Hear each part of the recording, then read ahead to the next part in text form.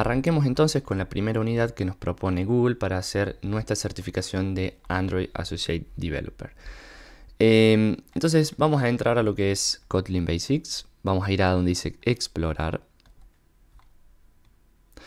Dentro de la primera unidad de Kotlin Basics, Basics vamos a ver varias unidades. En este caso tenemos tres, eh, pathways que se llaman o caminos, perdón, cuatro pathways que se llaman o caminos para eh, terminar con esta unidad. Entonces lo primero vamos a ir a lo que es la introducción a Kotlin, esta va a ser una introducción muy básica a lo que es el lenguaje, vamos a imprimir un par de mensajes por pantalla y vamos a usar lo que es el Kotlin Playground, em, que es una página en la que podemos escribir código Kotlin y podemos compilarlo. Todo lo que vayamos a ver en esa página, eh, lo que vayamos a programar en Kotlin, lo que vayamos a ver, todo se ve reflejado en Android Studio, es exactamente lo mismo, no cambia nada, absolutamente nada, no quiere decir que código que vayamos a escribir ahora no se puede usar en Android, se puede usar tranquilamente. Solo que en Android se utilizan algunos métodos algunas otras cosas que difieren, pero absolutamente nada, porque es básicamente el, mismo lenguaje de programación.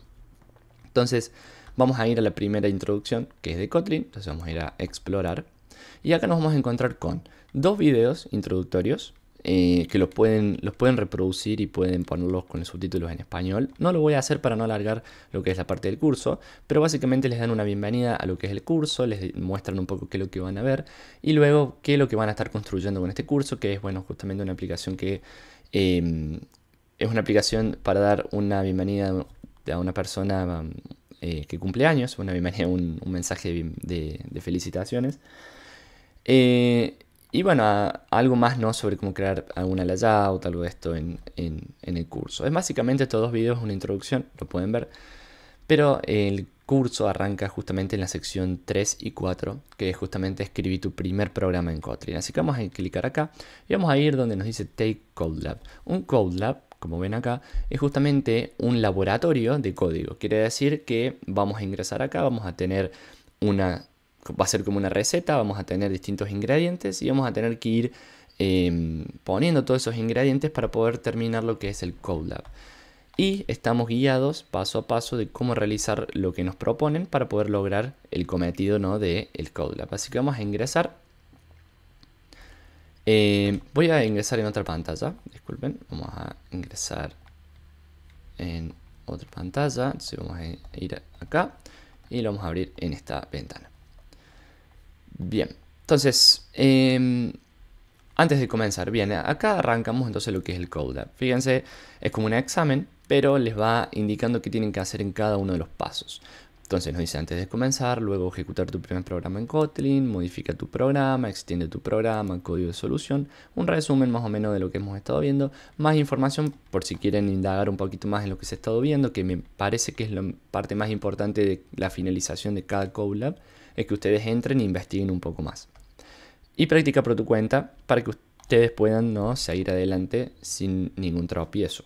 Entonces, antes de comenzar, les voy a leer todo, cosa de que vayamos a completarlos por completo los Colabs. Entonces, en este Colab escribirás tu primer programa en Kotlin eh, con un editor interactivo que puedes ejecutar desde tu navegador. No vamos a necesitar descargar nada, simplemente entramos a esta página que nos van a proporcionar y vamos a estar programando en Kotlin. Se puede entender un programa como una serie de instrucciones para que un sistema realice una acción. Bueno, eso es algo básico. En programación usamos distintas líneas de código, una por una, una debajo de otra, para que estas instrucciones se vayan ejecutando de una manera secuencial. Secuencial quiere decir que se ejecuta primero la primera línea que escribimos, luego la segunda, luego la tercera. Y esto genera unas instrucciones que la computadora entiende para realizar justamente lo que nos dice acá, una acción. Por ejemplo, podrías escribir un programa que crea una tarjeta de cumpleaños y en él una instrucción para imprimir un texto de felicitaciones o calcular la edad de una persona en función de su año de nacimiento. Entonces, esto no quiere decir que podemos tener distintos programas que hagan distintas funciones y esas funciones nosotros se las vamos a dar como eh, una serie de instrucciones. De la misma manera en la que usas un lenguaje humano para comunicarte con otras personas, debes usar un lenguaje de programación para comunicarte con el sistema operativo de tu computadora.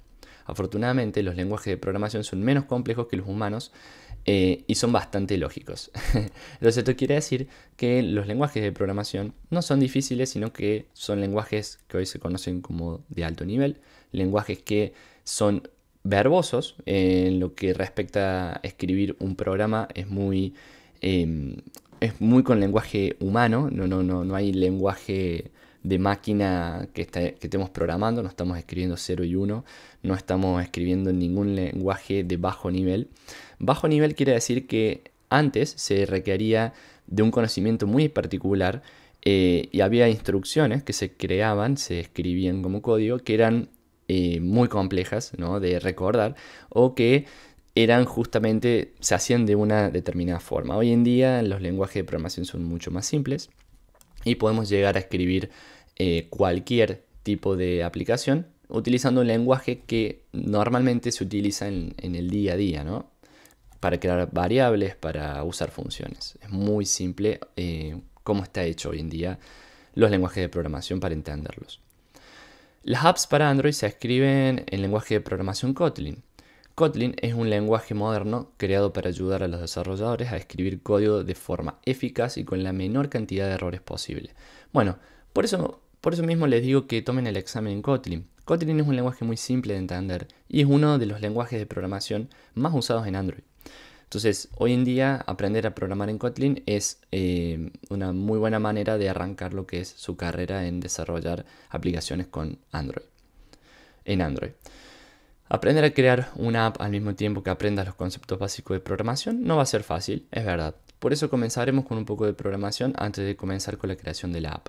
Conocer los conceptos básicos no solo es un primer paso importante en la creación de apps, sino que además te facilitará crear tu primera app más adelante en este curso. Bien, no es fácil arrancar a crear aplicaciones con una introducción acotada o breve de lo que es un lenguaje de programación como Kotlin. Si nunca han tocado una línea de código, si nunca han hecho absolutamente nada de código, quizás sea un poco, em, un poco, no quiere decir, uy, un poco, no quiere decir que sea extremadamente difícil, solamente les va a costar un poquito entender y adentrarse a lo que es el lenguaje para luego programar en Kotlin, en Android. Pero es muy simple, se los aseguro que van a, van a entenderlo todo con, con esta serie de videos. Los editores de código son herramientas que te permiten escribir código. Al igual que un procesador de texto como documentos de Google, te ayuda a crear documentos de texto.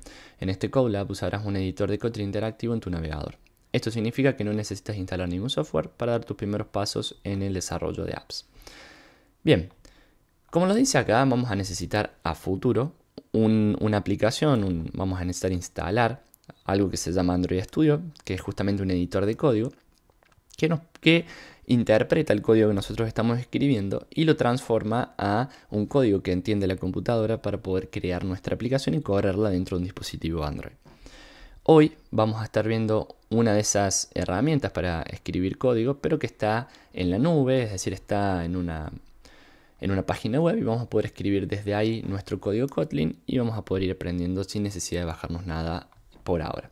Un requisito previo, usar sitios web interactivos en tu navegador web que aprenderás cómo crear, modificar, comprender y ejecutar un programa mínimo de Kotlin que muestre un mensaje, que compilarás un programa en lenguaje de programación Kotlin que muestra un mensaje cuando lo ejecutas, y los requisitos, una computadora con un navegador web moderno como Google Chrome, que lo ofrecen ellos, y tener acceso a internet en la computadora. Así que bueno, ya con la introducción, antes de empezar, empecemos a ejecutar la primera función o programa en Kotlin.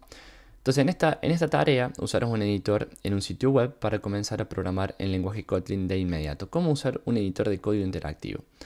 En lugar de instalar un software en la computadora, puedes usar una herramienta basada en la web para crear tu primer programa. En tu navegador vamos a abrir Kotlin Playground. Entonces se abrirá una herramienta de programación que puedes ejecutar en el navegador. Si vemos, este es el Kotlin Playground. Simplemente nos aparece el código en Kotlin y si nosotros le damos play acá, Fíjense que lo ejecuta y nos da el resultado. Entonces, dice, deberías ver una página similar a la que muestra la siguiente captura de pantalla con un editor de código en el medio. Perfecto. Entonces, este es nuestro editor de código. Acá vamos a estar escribiendo nosotros lo que nosotros querramos en Kotlin y con el botón play vamos a ejecutarlo.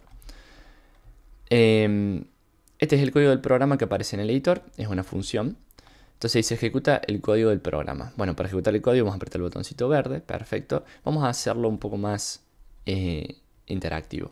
Entonces, ¿qué tenemos acá? Tenemos una función main. Una función en Kotlin quiere decir que es un bloque de código que está limitado por estos brackets. todo lo que se escriba acá dentro de esta función se va a ejecutar en, en secuencia. Eso quiere decir que primero vamos a ejecutar esta línea, luego si escribimos otra línea por debajo, vamos a ejecutar esta otra, luego por acá vamos a ejecutar otra. Eso quiere decir que cuando le demos play, esta función va a ejecutar esta línea, luego esta y luego esta. Entonces, en programación no hay forma de que nosotros, sin decírselo a la computadora, le demos play y ejecute esta línea, ejecute la tercera línea y luego ejecute la segunda. Es imposible que eso ocurra. A no ser que suspendamos los hilos, vayamos de un lado a otro, después volvamos, pero esos son más términos complejos que no nos importa. Pero lo que no tenemos que saber es que una función se crea con la palabra fun, como ven acá, se le da un nombre a la función y acá dentro de estos paréntesis se ponen lo que son variables o atributos que va a llevar esa función para trabajar dentro de estos brackets. Pero por ahora todo eso no lo vamos a tener en cuenta, sino lo más importante es aprender a qué, qué es lo que tenemos que poner dentro de esta función. Bueno, lo que nos dice es que apretemos play, entonces cuando apretamos play se ejecuta lo primero que está dentro de la función, que es un print ln, que esto es una palabra reservada em, en Kotlin que se utiliza para imprimir un mensaje en pantalla. Entonces lo que vamos a ver acá es hola mundo, que se tiene que escribir con las comillas, ya que es un, un texto, y dentro del hola mundo. Entonces esto nos devuelve a nosotros hola mundo. Bien. Justamente acá nos dice em, que una vez apretado botón play vamos a ver ese Hello World y abajo nos da una breve reseña, una breve descripción de qué es lo que está pasando por detrás. Cuando nosotros apretamos el botón play aparece lo que es una compilación, que es un proceso que convierte el código de programa en Kotlin en un formato que el sistema puede ejecutar. Si la, si la compilación se completa correctamente no habrá errores que impidan que el programa se ejecute. Si hay errores aparecerán en el panel ubicado en la parte inferior. Vamos al siguiente, modifica tu programa. Eso quiere decir lo que leímos anteriormente, es que esto es en un lenguaje muy entendible. Print en inglés quiere decir imprimir y ln es eh, como imprimir la línea que estamos mostrando acá. Tiene un, significado ln, no quiere decir que, sea así más. Line, next o algo así, la verdad no, no recuerdo. Pero es un lenguaje, fíjense, humano, que se entiende, abreviado, con esta última partecita de acá. Y simplemente se manda lo que nosotros queremos eh, mostrar por pantalla. Cuando nosotros escribimos esto en este lenguaje, la computadora por detrás al hacer la compilación lo transforma a ceros y a unos o a un lenguaje que la computadora entiende y luego si no hay ningún problema en esa compilación de código se da el resultado de Hello World. Entonces modifica tu programa. ¿Cómo cambiar el código del texto Hello World? Bueno, para cambiar el código vamos a poner, por ejemplo, feliz cumpleaños y lo único que tenemos que hacer es escribirlo dentro de lo que son estas eh, comillas. Entonces vamos a poner feliz cumpleaños y le vamos a dar play y fíjense que ahora en vez de decir Hello World nos va a decir feliz cumpleaños. Entonces esa es la forma que podemos cambiar el texto. Em, bueno, para no adentrarnos tanto a toda la explicación, eh, vamos a comprender las partes del programa que estamos viendo ahora. Entonces, fun eh, simplemente, o fan, como ven acá, es la palabra en el lenguaje de programación Kotlin. Fan significa función. Una función es una sección del programa que realiza una tarea específica. Kotlin tiene varias, tiene muchas palabras especiales con significados muy específicos que conocerás a medida que aprendas a programar en este lenguaje. Por lo general se denominan palabras clave o palabras reservadas. Bien, esta es una palabra reservada, una palabra clave en Kotlin, ya que es la palabra utilizada para crear funciones en Kotlin. Como nos dice ahí que lo que es una función es justamente una parte del programa que vamos a ejecutar. Una función puede estar comprendida entre una línea de código o un millón de líneas de código. Las líneas de código que esa función necesite para realizar su tarea va, eh, va a ser, digamos, eh, esa función. O sea, va a crear esa función la cantidad de líneas de código. Entonces podemos decir que, por ejemplo, podemos tener una función que se llame calcular edad y que dentro de esa función tengamos el código para calcular edad. Código para calcular edad. De esta manera. Entonces, una función simplemente se denota con un nombre para identificar qué es lo que hace y luego el código dentro de ella que aclara eh, o le da las instrucciones a la computadora para realizar esa función que ven acá, que es en este caso calcular la edad. Bien, fun main. Main es el nombre de esta función. La función tiene nombres a fin de poder distinguir una de otras. Esta se llama main porque es la función principal. Eh, la primera función es la principal, a la que se llama cuando ejecuta el programa. Todos los programas en Kotlin necesitan una función llamada main. Bueno, el nombre de la función siempre va seguido de dos paréntesis, como ven ahí. Dentro de, los paréntesis pueden ingresar información que usará la función. Esta información entrada es la entrada de la función, se denominan argumentos o de forma abreviada args. Seguirá aprendiendo sobre los argumentos más adelante. Bien, entonces nos dice que en Kotlin, eh, cuando nosotros creamos un programa, ejecutamos un programa en, cualquier editor, necesitamos una función de entrada, una función principal, que es la primera función que se ejecuta cuando damos play. No quiere decir que, por ejemplo, si nosotros tenemos acá 10 funciones, una abajo de la otra, eh, y las tenemos con distintos nombres, siempre cuando ejecutemos vamos a ejecutar la primera, que es la main, y luego podemos llamar a las otras funciones desde la primera. Porque como se ejecuta secuencialmente el código, el, editor no tiene forma de saber dónde el usuario, dónde el programador quiere ir, si quiere ir a la primera función, a la segunda o a la tercera. Por eso se ejecuta primero esta función y luego se va ejecutando otras funciones a medida que nosotros las vamos llamando dentro de la función principal. Entonces, dentro de una función, como les dice acá, se crea, primero se pone el nombre de la función, luego se ponen los paréntesis y dentro de estos paréntesis se pueden pasar argumentos que nosotros querramos para em, utilizar dentro de lo que es la función. Entonces, eso es algo muy importante en programación, ya que se utiliza 100% de las veces. Estamos creando métodos que llevan algún argumento para poder utilizarlo dentro de esa función. Y algo muy importante son eh, poner atención a, los a, las llaves eh, después de los paréntesis, ya que dentro de una función se incluye el código que permite completar una tarea. Las llaves rodean esas líneas de código. Entonces es muy importante que dentro de estas llaves ejecutemos el código que va a utilizar esta función. Y justamente ese es el, propósito de una función, tener llaves que dentro de él describan lo que se va a ejecutar. Es muy importante no eh, olvidarse de poner esto antes de crear una función. Esta línea de código imprime un texto, como ven acá, la palabra reservada eh, println le indica al sistema que imprime una línea de texto. Esta es una de las palabras reservadas, tanto como fan, tienen println, eh, print solo, tienen un montón de palabras reservadas que se van a ir aprendiendo a medida que vayan entrando más en lo que es la programación en Kotlin. Verá que este texto está entre comillas, esto le indica al sistema que todo lo que está dentro de las comillas se debe imprimir tal como está. Entonces, como les decía anteriormente, necesitamos sí o sí las comillas para poder usar esta función.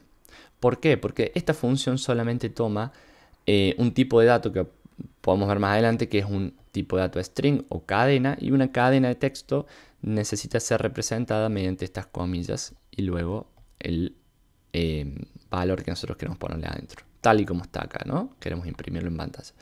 Para que el programa imprima el texto, toda la instrucción println debe estar dentro de la función main. Bien, eso es importante ya que dentro de la función que queremos nosotros crear necesitamos ejecutar esta operación y esta operación es justamente una impresión en pantalla de lo que estamos escribiendo acá adentro. Y eso es todo, el programa más pequeño escrito en Kotlin. Entonces vamos a la siguiente parte, extiende tu programa. Entonces, ¿cómo imprimir más de un mensaje? Entonces, hasta ahora imprimimos un solo mensaje con la función println. Entonces, veamos ahora cómo imprimir más mensajes. Como vemos acá, podemos poner uno abajo del otro y le podemos dar play. Y le damos a ejecutar. Entonces, voy a copiar esta línea. Y acá le voy a poner feliz cumpleaños, no sé, José. Eh, y vamos por acá, que tengas un buen día. ¿No? Así. Entonces tengo tres funciones que son de, impresión de, caracteres en pantalla. Y cuando ejecute, la función va a venir y me va a ejecutar primero este, después este y después este. Y eso lo va a mostrar en pantalla. Así que veamos. Le damos play y nos aparece justamente los tres mensajes uno debajo del otro, ya que se ejecutan en ese orden, ¿no? Se imprimen tres veces por pantalla ese mensaje. Bueno, hasta ahora todo bien, pero veamos cómo solucionar un par de problemas que pueden llegar a surgir. Uno de ellos, por ejemplo, es que nos olvidemos una comilla y le demos play. Entonces, si se fijan acá, tenemos varios problemas. Uno de ellos es que estamos olvidándonos una comilla. Entonces nos dice que se está esperando, fíjense eh, básicamente nos dice cuál es el problema. Está esperando unas comillas eh, y no se puede resolver la referencia println porque no cerramos bien esta de acá del medio. Entonces estamos teniendo un problema con esta línea y con esta línea. Justamente acá el debugger nos da la información de qué es lo que estamos haciendo mal. Como les decía, necesitamos poner una comilla acá para que esto funcione, así le damos play y funciona. Pero si le sacamos las dos y damos play, fíjense que el error solamente se va a marcar en esta línea de acá. ¿Por qué? Porque anteriormente, si nosotros dejamos una sola comilla, como ven acá, el programa sigue ejecutándose, pero al seguir ejecutándose nota que le faltan unas comillas y luego acá abajo sigue ejecutando buscando esa comilla y ve que existe una función en la cual no se acepta esta referencia para ponerla justamente a continuación de lo que está faltante acá. Entonces por eso tenemos dos problemas. En cambio, si solamente tenemos el problema en una sola línea, en la cual le faltan las dos comillas, vemos que nos dice que no eh, se puede resolver la referencia José. ¿Por qué pasa eso? Porque acá dentro de este println estamos esperando, el programa está esperando por una serie de caracteres y le estamos mandando una referencia, un, otra, otro tipo de dato que no reconoce como válido para poder imprimir el mensaje. Es por eso que necesitamos ponerle las comillas a esta palabra para poder mostrarla en pantalla y darle play. El mensaje de un, resolve reference te indica que el sistema considera que es un error en el código. Incluso si no sabes qué significa el mensaje de error, es posible que puedas entender cuál es el problema. En este caso, sabes que la instrucción println imprime texto. Ya aprendiste que el texto debe estar entre comillas. Si no está entre comillas, se genera un error. Bueno, yo ahí les explico un poco más a detalle por qué pasa ese error, porque justamente lo que le estamos pasando acá no es el tipo de dato que está esperando esta función. Em, para solucionarlo, agregar las comillas nuevamente, ejecutar el programa para asegurarse que vuelva a funcionar y felicitaciones, has ejecutado y modificado tu primer programa en Kotlin. Entonces, código de solución, acá nos muestra cuál es el código para solucionar el, problema o cuál es el, código que está bien. Y un resumen, bueno, básicamente lo que aprendimos es que tenemos un Kotlin Playground que podemos usar para escribir funciones y código Kotlin. Eh, todos los programas en Kotlin deben tener una función main, eso quiere decir que la función principal que ejecuta cualquier programa es la main. Vamos a ver mucho más adelante cuando empecemos a programar en Android que esa función main se transforma en otra función que se llama onCreate, que es, lo mismo, es exactamente el mismo pero con otro nombre, nada más que como es en Android. Eh, se ejecuta esa función, pero en Kotlin si vamos a programar desde IntelliJ, vamos a programar desde Eclipse, vamos a programar desde cualquier editor, Em, Visual Studio, creo que es eh, Visual Studio Code, em, van a ver que siempre se va a ejecutar la primera función, que es la función que se eh, denomina main, se nombre main. Utiliza la función println para imprimir una línea de texto, coloca el texto que deseas imprimir entre comillas, por ejemplo, hello o hola, Repite la instrucción para imprimir varias líneas de texto y los errores se marcan en rojo en el programa. Verás un mensaje de error en el panel de resultados que te ayudará a determinar dónde está el error. Perfecto, hasta hoy estuvimos aprendiendo todo esto y más información, bueno, Kotlin Playground, vocabulario de conceptos básicos en Kotlin, pueden entrar a este link que aparece acá. Eh, lastimosamente no lo estaría traduciendo a español, pero bueno, tenemos un vocabulario bastante extensivo, como pueden ver, abstract class, que, son, es una clase abstracta, eh, accesibilidad, que lo que es, Android, creo que es Android, Android App, es un diccionario básicamente de todo lo que eh, tenemos en Android, ¿no? Boolean, ¿qué significa Boolean? ¿Qué significa button? Em, ¿Qué significa el chaining? Camel case para la descripción de las constantes, de las variables. ¿Qué es un click listener, un click handler? Bueno, acá tienen todo. Básicamente acá en esta mini en este mini diccionario van a encontrar todo lo que necesitan saber sobre por ejemplo, más adelante se les mm, habla del stack trace, por ejemplo, que está acá. Entonces acá viene y dice, ¿qué es lo que es una stack trace? Entonces acá les dice que es una lista que contiene métodos, ta, ta, ta, ta. Entonces les recomiendo que lean este vocabulario, ¿no? Siguiendo el curso, para que se adapten un poco a, qué es cada una de estas palabras, qué significa, eh, porque lo vamos a ver más adelante seguramente, así que es un muy buen plus para que aprendan el vocabulario y conceptos básicos para programar en Kotlin. Y práctica por tu cuenta, eh, lo que nos dice acá es, los problemas de práctica son opcionales, pero te permiten practicar lo que aprendiste en este Colab. Entonces cambia las instrucciones print ln por print, ejecuta el programa y ¿qué, qué ocurre entonces? Entonces veamos, si en vez de print ln ponemos print, y le damos play, vemos que tenemos todo el texto eh, pegado, uno al lado del otro, no tiene separación para nada. Entonces, eso nos quiere decir que la palabra ln que le ponemos al final nos da un salto de línea o nos da un enter, digamos, a esas palabras, para que se vean de esta forma. Entonces dice la instrucción print imprime el texto sin agregar un salto de línea al final de cada string. Corrige el texto para que cada parte del mensaje esté en una línea separada. Entonces la sugerencia dice usa barra n dentro del texto para agregar un salto de línea, por ejemplo, line break. Ahí está, justamente el n, como vemos ahí, significa line break o salto de línea. Si agregas un salto eh, de línea, el resultado cambiará como se muestra a continuación. Sugerencia, puedes imprimir una línea vacía si no ingresas texto, por ejemplo, así. Entonces, hay dos formas de eh, hacerlo a este salto de línea. Una es usando println, que es lo más sencillo. O la otra es simplemente utilizando el barra n. Fíjense si le doy play ahora. Feliz cumpleaños aparece primero, tiene un salto de línea y luego eh, José. Ahora si José también le doy un salto de línea. Dentro, esto es una palabra reservada también, ¿no? Es como un símbolo que se usa para hacer un salto de línea dentro del texto. Fíjense que ahí nos aparece uno debajo del otro. Pero también nos dice que lo que podemos hacer es simplemente hacer el primer salto de línea y luego hacer un, espacio vacío como ese y luego poner José. Entonces podemos ver acá que nos dice eh, no tiene ningún salto de línea. Eh, después tenemos un salto de línea y después un salto de línea con eh, barra n, que es justamente para hacer el salto de línea. Eh, bueno, revisa tu trabajo. Bueno, y acá podemos ver directamente cómo, cómo funciona ese salto de línea opcional que podemos usar que no sea el print ln la función, sino agregándole esta barrita. Perfecto, 27 minutos y acaba de terminar la primera parte, vamos a cerrar todo, acaba de terminar la primera parte de la unidad 1, que es escribir tu primer programa en Kotlin.